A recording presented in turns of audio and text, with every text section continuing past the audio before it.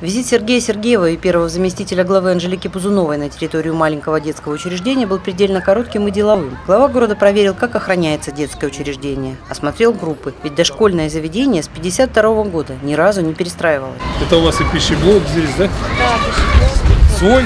Свой? Свой? Ничего, ну ничего ниоткуда не везет. Все готовите здесь, да? Да. Садик хороший, маленький, хороший.